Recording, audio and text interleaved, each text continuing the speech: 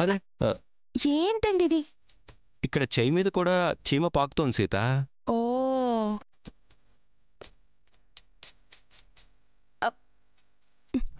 ఏంటండి? అక్కడ కూడా చీమలు వరుసగా వెళ్తున్నాయి సీత. అవునా. ఆ, పిల్లలు పుట్టాలంటే ఇలాంటి చీమలు చాలా ఉండాలని నాకు అర్థమైంది.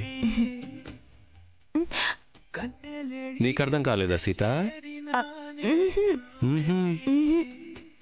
నాకు అర్థమైందిలే. ఆ, అబ్బా అ- అయ్యో అక్కడ పెద్ద చీమ ఉందండి. పెద్ద చీమ. మ్మ్. ఆహా. ఆ, అయ్యయ్యో ఆ, ఆ, ఈ చీమల గొడవలో పడి మీకు మజ్జిగ తీసుకురావడం మర్చిపోయాను. ఉండండి మజ్జిగ తీసుకొస్తాను.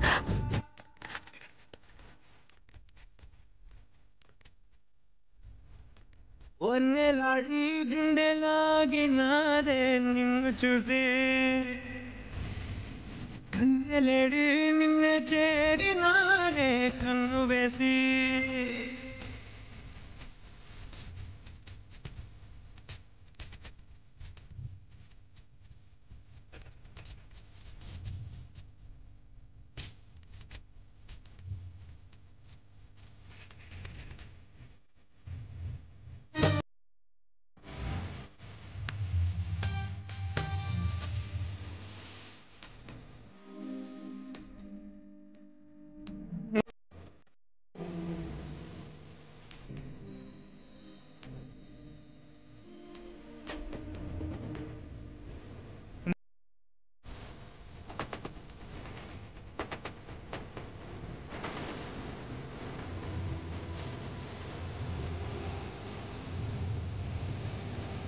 ఒన్నెలాడి గుండెలాగినాదే నిన్ను చూసి ఎవరమ్మా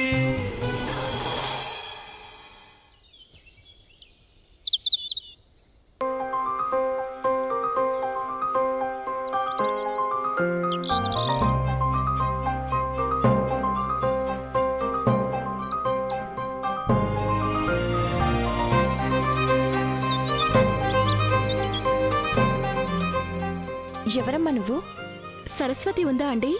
ఉందమ్మా. నువ్వు? నా పేరు కమల అండి. సరస్వతి ఫ్రెండ్ని. అవునా. రామ్మా. సరస్వతి? సరస్వతి? కమలా? ఎలా ఉన్నావే? నేను బాగున్నానే. నువ్వెలా ఉన్నావో చూసిపోదామని వచ్చాను. మీరు మాట్లాడుతూ ఉండండి. నేను వెళ్ళి కాఫీ తీసుకొస్తాను. రా కూర్చో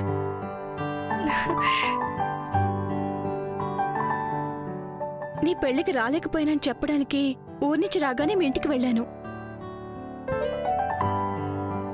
జరిగిందంతా అక్కడి వాళ్ళు చెప్పారు. నీకిలాంటి పరిస్థితి వస్తుందని నేను అస్సలు ఊహించలేదే. బాధపడకు సరస్వతి.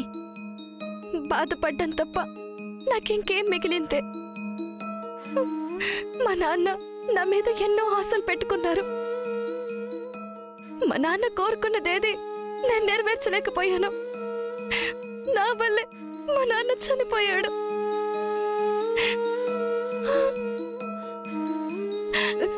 ఊరుకోవే. అన్నీ మనం అనుకున్నట్టే జరగవు.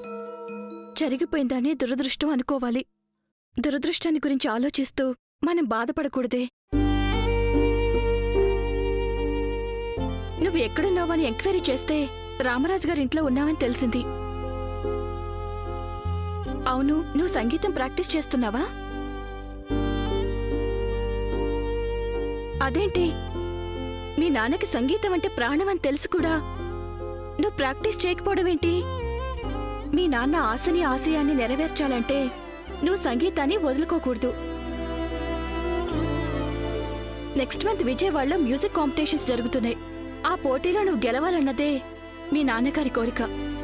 మీ నాన్నగారి కోరిక నెరవేర్చడం కోసమైనా నువ్వు పోటీలో పాల్గొనాలి. ఆ పోటీలో నువ్వు తప్పకుండా గెలవాలి సరస్వతి. సాధన చేసి పోటీల్లో పాల్గొనే పరిస్థితుల్లో నేనిప్పుడు లేను. గెలవాలి అనుకుంటే సరిపోదు. దానికోసం ఎంతగానో శ్రమించాలి. సాధన చేయడానికి ఉత్సాహం పట్టుదల ఆత్మవిశ్వాసం కావాలి. ఆ బేబీ నాకు ఇప్పుడు లేవు.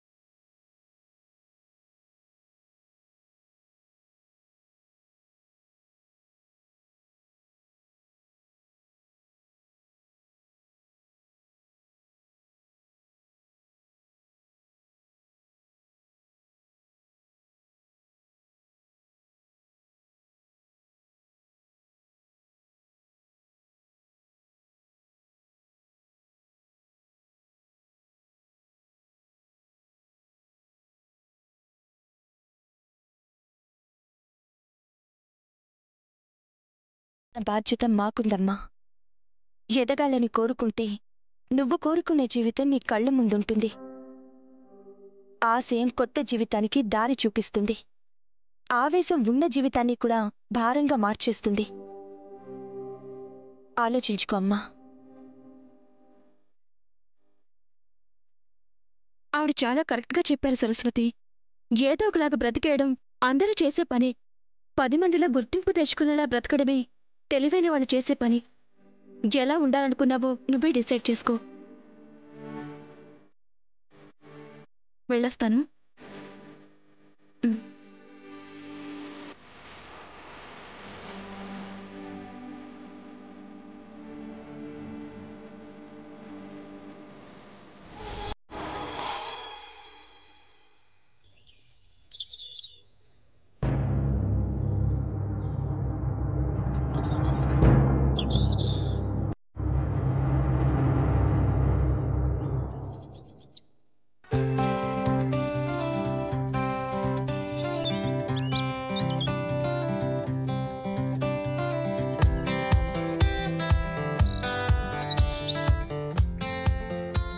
దక్షిణి? ఊరు చూపించు పొలాలు చూపించని రోజు నా వెంట పడేదానివి. ఈరోజు అడగకుండా చెప్పకుండా నువ్వే వచ్చేసావేంటి? హెల్ప్ అనేది ఎవరైనా ఒకసారో రెండుసార్లో చేస్తారు. ప్రతిరోజు చేయరు కదా. అందుకే ఈరోజు నిన్ను ఇబ్బంది పెట్టకూడదని నేనే వచ్చేసా. నా నస తప్పిపోయినందుకు నీకు చాలా హ్యాపీగా ఉందనుకుంటా? నీ పెళ్ళి నా కారణంగానే తప్పిపోయినందుకు నా మీద నీకు పీకల దాకా కోపం ఉంటుందని నాకు తెలుసు. అందుకే నిన్ను బాధ పెట్టడం ఎందుకని? ఏ విషయం గురించైనా ధైర్యంగా తలెత్తుకుని మాట్లాడే నువ్వు. ఇలా తలదించుకొని మాట్లాడుతున్నావేంటి? నువ్వు అందరు ఆడపిల్ల లాంటి దానివి కాదు కదా? అంటే? తెలివైన దానివి. ఏది మాట్లాడడానికైనా ఏది చేయడానికైనా భయపడకుండా ఉండే నీలాంటి వాళ్ళు అందరిలా మాట్లాడకూడదు. నాకు నచ్చింది ఏదైనా ఉంది అంటే అది నీలో ఉన్న ధైర్యమే. హ్మ్, ఎంత ధైర్యం ఉన్నా నేను కూడా ఆడపిల్లనే కదా? నువ్వు ఇలా మాట్లాడితేనే నాకు నచ్చదు. నిన్నటి వరకు ఎలా ఉన్నావో అలాగే ఉండు. అంటే బావా బావా అని పిలవడం చిలిపిగా మాట్లాడడం నీతో చనువుగా ఉండాలనుకోవడం నిన్ను ఆట పట్టించడం ఇలాంటివన్నీనా? హ్మ్. అంతేకాదు. ఇంకొన్ని కూడా. ఇం- ఇంకొన్ని అంటే? నిన్న నువ్వు మాట్లాడిన పద్ధతి నచ్చింది. ఆ ధైర్యం ఆ తెగింపు నచ్చింది. నిజమా? నన్నింతలా పొగిడేస్తున్నాడంటే నా ట్రాక్లోకి వచ్చేసినట్టున్నాడు. నువ్వేమీ మనసులో పెట్టుకోవద్దు. ఎప్పట్లాగే ఉండు. అంటే బావా బావా అని పిలవచ్చా? పిలవచ్చు. ఆ, నీ బైక్ మీద ఎక్కి నీతో తిరగచ్చా? తిరగొచ్చు. నీతో చనువుగా ఉండొచ్చా? ఉండొచ్చు. థ్యాంక్స్ బావా. లోకులు కాకులు కాబట్టి ఎవరేమన్నా మనం పట్టించుకోకూడదు. ఉమ్, అయినా అరే ఏమైంది బావా? కంట్లో నలకబడినట్టుందిలే. ఊతానిట్రా పోతుంది. పర్లేదు పర్లేదు. అయ్యో పర్లేదంటావేంటి బావా? ఇటు తిరుగు. ఏ. తిరుగు. తిరుగుమన్నానా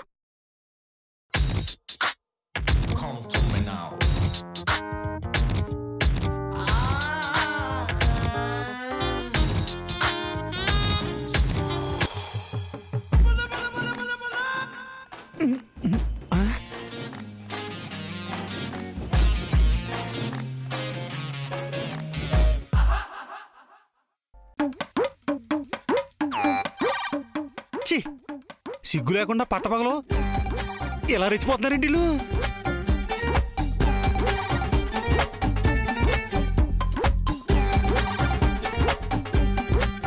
అవ్వా! వీళ్ళిద్దరి మీద నాకు మొదటి నుంచి డౌట్ ఉంది. నా డౌటే నిజమైంది. ఇలాంటి పాడు పనికి ముందు శంకరబాబు కమిట్ అయ్యాడు. ఆ అమ్మాయి అడ్వాన్స్ అయిందో నా డౌట్ క్లియర్ చేసుకోవాలి.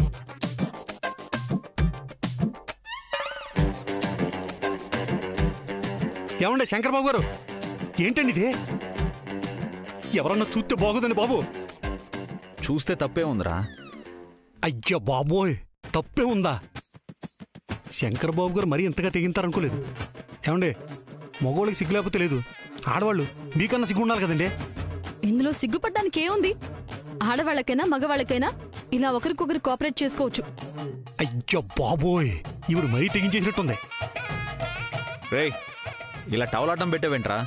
అడ్డు పెట్టకపోతే ఎలాగండి బాబు?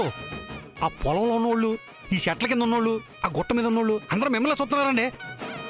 మిమ్మల్ని చూడకుండా అడ్డు పెట్టాను. అడ్డు పెట్టడం ఎందుకురా? ఇలాంటి దృశ్యాలు చూడకూడదు కదండి. ఏడ్చావులే. ఆ టవల్ది. అయిపోయిందండి? అయిపోయింది. అమ్మయ్యా నాకు టెన్షన్ తగ్గించారు. ఇప్పుడు ఎలా ఉంది బావా? బాగుంది. అబ్బా! చేసిందే చండాలమైన పని. మళ్ళీ అది ఎలా ఉందనుకోవడం బాగుందనుకుంటాం. చిచ్చి! ఏయ్ చిచి ఏంట్రా? అయ్యగారు నాకు చిన్న క్లారిటీ కావాలండి. అమ్మా మీరు ఒకసారి ఇటండి ఎలా రండి చెప్తాను. ఇప్పుడు రండి. మీరు రండమ్మా మీరు రండమని చెప్తాను ఏయ్, మీరు రండి?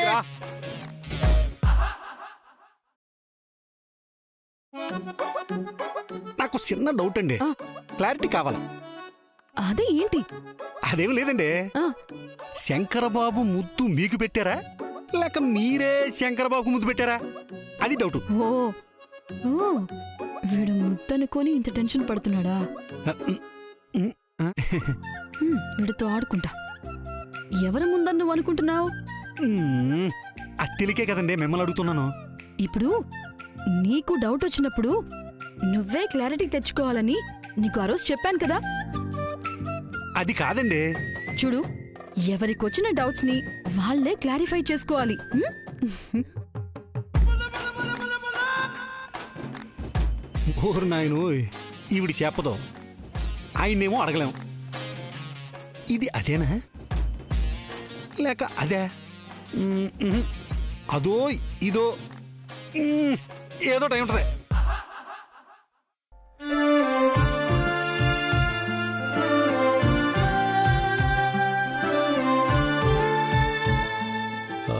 వెంకట్రావు గారు? చెప్పండి సార్. మీరు ఒకసారి గోడౌన్కి వెళ్ళి మన దగ్గర స్టాక్ ఎంత ఉందో చూసి చెప్పండి. పండగ దగ్గరికి వస్తుంది కదా కొత్త స్టాక్కి ఆర్డర్ ఇవ్వాలి. మళ్ళీ కొత్త స్టాక్ కొనడం ఎందుకు సార్? మొన్నే శంకర్ బాబు కొన్నారు కదండి. కొన్నారని మీకు కూడా చెప్పారు కదండి మీరు మర్చిపోయినట్టున్నారు. మీకు చూపిద్దామని స్టాక్ని స్టోర్ రూమ్లోనే పెట్టుంచాను సరే చూపించండి. రండి సార్. రండి సార్. శంకర్ బాబు కొన్న స్టాక్ ఇదేనండి. చూపించండి.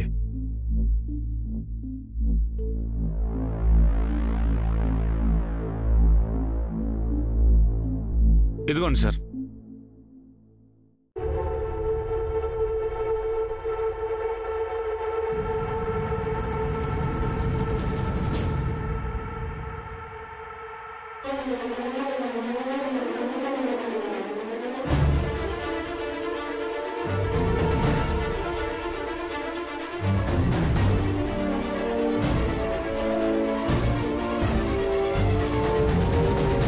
ఇది చాలా పాత స్టాకు. ఇలాంటి స్టాక్ ఎలా కొన్నాడు? క్లాత్ మెటీరియల్ కూడా అస్సలు బాగాలేదు కొనేటప్పుడు చూసుకోలేదా? చూడకముందే చెక్ ఇచ్చేశారండి! మెటీరియల్ ఎలా ఉందో చూసుకోకుండా చెక్ ఎలా ఇస్తాడండి? బుద్ధుందా వాడికి? మీరందరూ ఉండి ఏం చేస్తున్నారు? కనీసం మీరైనా చెప్పాలి కదా.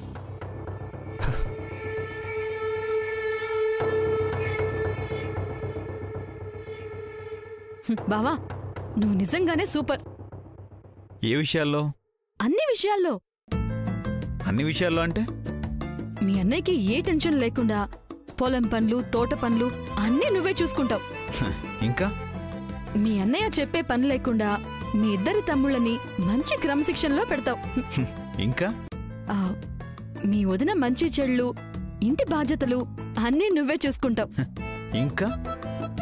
మీ అన్నయ్య నీకు తోడుగా ఉండి రూల్ చేయమని చెప్తే నన్ను కూడా బాగా చూసుకుంటావు. ఇంకా?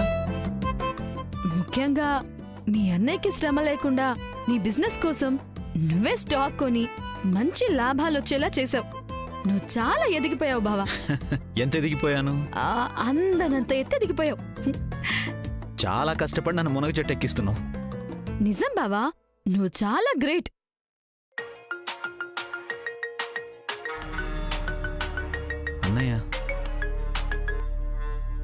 శంకర్?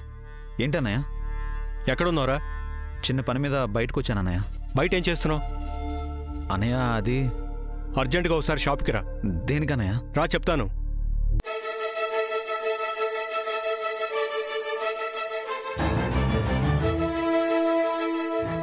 అన్నయ్య అర్జెంటుగా షాపుకి రమ్మంటున్నాడు. ఎందుకు? తెలీదు. చాలా కోపంగా ఉన్నట్టున్నారు. కోపంగా ఉన్నాడంటే పాత స్టాక్ కొన్నందుకు నిన్ను తిట్టడానికి అయి ఉంటుంది.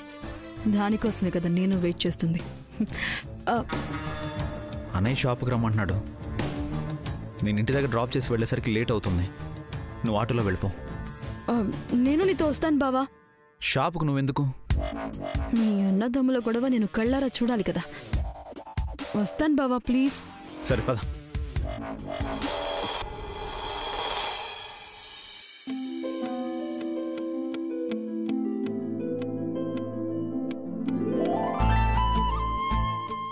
సరస్వతిలా వచ్చావు?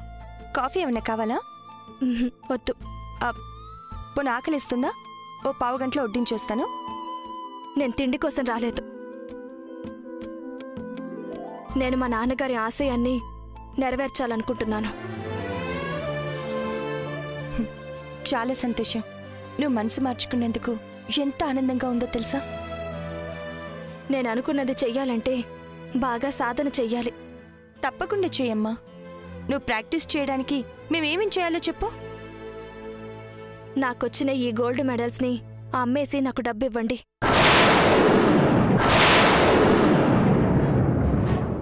రోజు ప్రాక్టీస్కి వెళ్ళి రావడానికి నాకు డబ్బు అవసరం.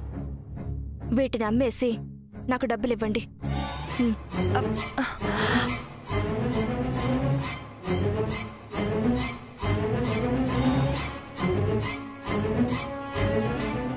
నీకొచ్చిన మెడల్స్ అమ్మడమేంటి? నీకు డబ్బు అవసరమైతే మేమిస్తాం కదమ్మా. ఒకరి దయా దాక్షణ్యాలతో నా ఆశయాన్ని నెరవేర్చుకోవడం నాకు ఇష్టం లేదు. ఎవరి మీద ఆధారపడి నేను బ్రతకాలనుకోవడం లేదు. మేమేదో పరాయి వాళ్ళమైనట్టుగా నువ్వు అలా మాట్లాడడం తప్పు సరస్వతి. పరాయి వాళ్ళు కాకపోతే మీరు నాకు సొంత మనుషులా బంధువులా. నాకు మీరేమవుతారు? ఒకరి శ్రేయస్సుని కోరుకునే వాళ్ళు బంధువుల కన్నా ఎక్కువే అవుతారు. సహాయం చేసే వాళ్ళెప్పుడు మన మనసుకి నచ్చిన వాళ్ళు అవుతారే తప్ప పరాయి వాళ్ళెవ్వరు. మన అనుకుంటే అంతకు మించిన బంధం బంధుత్వం మరొకటి ఉండదు. మీకు నాకు మధ్య శత్రుత్వం తప్ప బంధుత్వం ఎక్కడుంది? మా నాన్నని పొట్టను పెట్టుకున్న వాళ్ళ ఇంట్లో ఉంటున్నందుకు ఉండాల్సి వచ్చినందుకు అనుక్షణం నేనెంత బాధపడుతున్నానో మీకెవరికీ తెలీదు. నా తండ్రిని బలి తీసుకున్న వాళ్ళ దగ్గర డబ్బు తీసుకొని తన ఆశయం నెరవేర్చడం దౌర్భాగ్యం దురదృష్టం ఇంకొకటి ఉండదు. తండ్రిని పోగొట్టుకున్న దుఃఖంలో ఉన్న నువ్వు ఇలా మాట్లాడడంలో తప్పు లేదు. కానీ నిన్ను నీ పరిస్థితిని అర్థం చేసుకున్న మమ్మల్ని నీ శత్రువులు అనుకోవడం పద్ధతి కాదమ్మా. నీకు అన్యాయం జరిగిందని నువ్వు ఎంత బాధపడుతున్నావో. మా కారణంగా నీకు అన్యాయం జరిగినందుకు మేము నీకన్నా ఎక్కువ బాధపడుతున్నాం. మేం చేసిన తప్పు వల్ల పోయిన మీ నాన్నగారిని తీసుకురాలేం. కానీ నువ్వు కోరుకున్న జీవితాన్ని ఇవ్వడానికి మేము ఏం చేయడానికైనా సిద్ధంగా ఉన్నాం. మమ్మల్ని అర్థం చేసుకోవడానికి ప్రయత్నించు సరస్వతి. ఇప్పటి వరకు అర్థం చేసుకున్నది చాలు. ఇంకా అర్థం చేసుకోవడానికి ప్రయత్నిస్తే నేను పిచ్చిదాన్ని అయిపోతాను. మీ సలహాలు ఓతర్పులు నాకేం అవసరం లేదు. నేను అడిగిన ఈ సాయమైనా చేస్తారా లేదో అది చెప్పండి. సరేనమ్మా. ఇప్పుడు వీటిని అమ్మి డబ్బు తెచ్చిస్తే నీ ఆశయాన్ని నెరవేర్చుకుంటావు. అంతే కదా? అవును. సరే. అయితే వీటిని నా దగ్గరే పెట్టుకుని నీకు డబ్బిస్తాను. వాటిని ఉంచుకుంటారో అమ్ముకుంటారో మీ ఇష్టం. నాకు కావాల్సింది డబ్బు. నేను రేపటి నుంచే ప్రాక్టీస్కి వెళ్ళాలి. తప్పకుండా వెళ్దు గాని. శ్రావణ్? శ్రావణ్? ఆ, ఏంటదినా? ఒకసారి ఇల్లారా వస్తున్నాను అదినా. ఏంటదినా? మన సరస్వతి రేపటి నుంచి సంగీతం ప్రాక్టీస్ కోసం వెళ్తుందంట. రోజు నువ్వు సరస్వతిని ప్రాక్టీస్కి తీసుకెళ్ళి తీసుకురావాలి. నేనా? ఆ నువ్వే. నేను ఇతనితో వెళ్ళను. హలో నాతో వస్తానన్నా నేను తీసుకెళ్ళను. శ్రావణ్ నువ్వే తీసుకెళ్ళాలి. అది కాదు వదినా నేను చెప్తున్నాను కదా అర్థం కావడం లేదా? నేను ఇతనితో వెళ్ళను అని చెప్తున్నాను కదా. సరేనమ్మా. నీ ఆశయం నెరవేరాలంటే శ్రద్ధ పట్టుదల ఉండాలి కానీ పంతాలు పట్టింపులు ఉండకూడదు. కోపం నీ తెలివిని తగ్గించేస్తుంది. ఆవేశం నీ ఆశయాన్ని దూరం చేస్తుంది. అర్థం చేసుకో.